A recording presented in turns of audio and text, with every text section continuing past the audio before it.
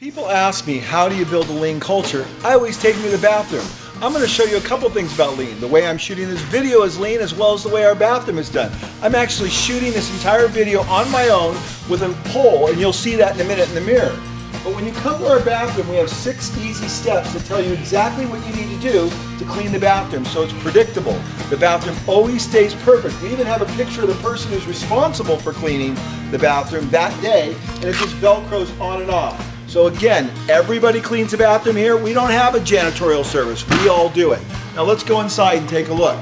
The interesting thing about our bathroom is it's used by 43 people every day and I'm at the end of the day shooting this film and look how clean it is. There's nothing anywhere. Everybody keeps the bathroom perfectly all day long because we've created a standard and we expect that standard to be maintained. On our shelf with all of our supplies, we have everything labeled perfectly. The paper towels are here. We can easily see when we're running low to reorder. We have the tissue paper, personal items. Instead of just being thrown about, we created a special box so people can keep their things in there and it doesn't look cluttered or messy. You can see everything's down here, including the plunger and the toilet paper brush.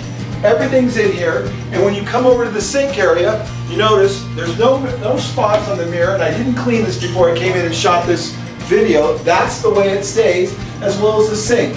Everything stays this level because that's part of our lean culture of leaving things better than you found it.